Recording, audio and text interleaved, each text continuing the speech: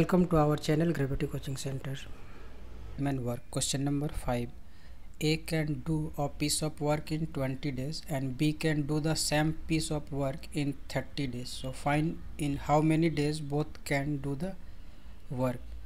तो इस क्वेश्चन में एक वर्क को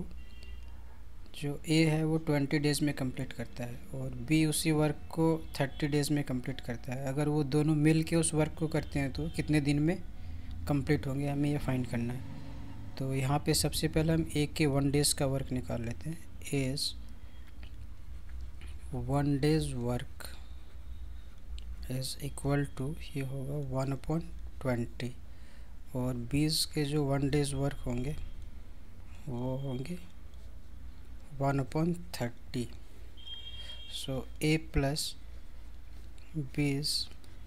one day's work is equal to one upon twenty plus one upon thirty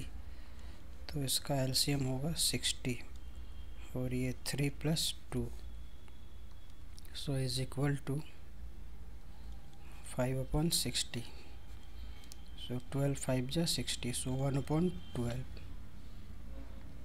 so hence A and B both can do the work in 12 days. So which is the required answer? So option b is the correct answer